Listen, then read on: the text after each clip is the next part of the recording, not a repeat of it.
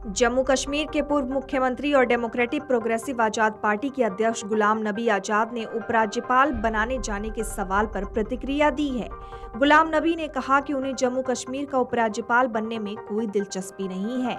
उन्होंने कहा कि वो यहाँ रोज़गार करने नहीं, बल्कि लोगों की सेवा करने आए हैं। पूर्व कांग्रेस नेता ने डेमोक्रेटिक प्रोग्रेसिव आज़ाद पार्टी के स्थापना दिवस पर आयोजित रैली में अफवाहों को नकारते हुए ये बातें कही। साथ ही उन्होंने लोगों से अफवाह पर विश्वास न करने की अपील की।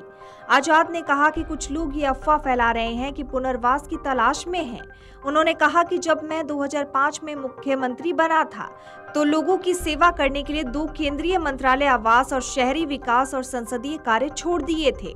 ऐसा नहीं था कि मेरे पास कोई काम नहीं था। बेरोजगारी और मुद्रास्फीति जम्मू कश्मीर की दो मुख्य समस्याएँ हैं, जिनका समाधान वो क्षेत्र की पर्यटन क्षमता का दोहन करके करना चाहते हैं। महँगाई बढ़ रही है।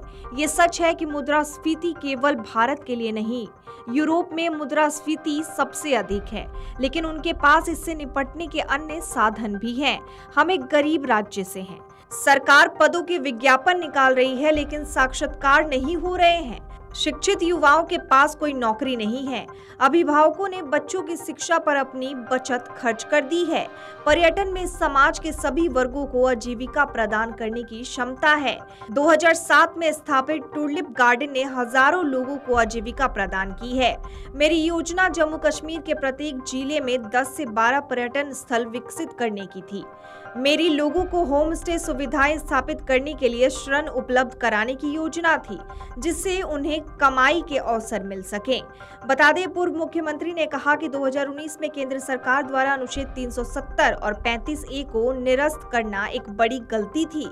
कई सालों में कुछ राजनीतिक गलतियाँ हुई, जिन्होंने राज्य को आगे बढ़ने के बजाय पीछे ढकेल दिया।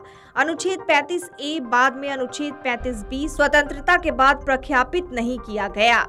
इससे 1925 में महाराजा हरि सिंह द्वारा लाया गया था।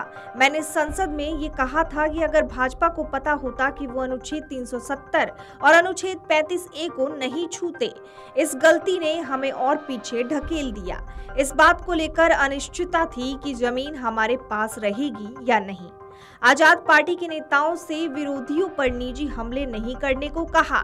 उन्होंने कहा कि मैंने पहले भी कहा है कि हमारे साथ राजनीतिक धोखाधड़ी हुई है, लेकिन मुझे किसी की शक्ल पर टिप्पणी क्यों करनी चाहिए?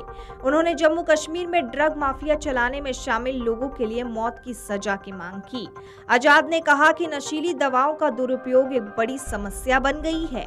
नशे का कारोबार करके कई लोग करोड़पति बन जाते हैं। उन्हें मौत की सजा देनी चाहिए। Video desk Amar Ujala dot com. Amar Ujala, अब आपके टीवी पर भी। अपने स्मार्ट टीवी पर यूट्यूब पर सर्च करें अमर उजाला। चैनल सब्सक्राइब करें और देखें ताज़ा खबरें। वो भी एचडी क्वालिटी में। और हाँ बेल आइकन दबाना ना भूलें, ताकि हर खबर हो आपके घर। अमर उजाला, निष्पक्ष निर्भी निरंतर।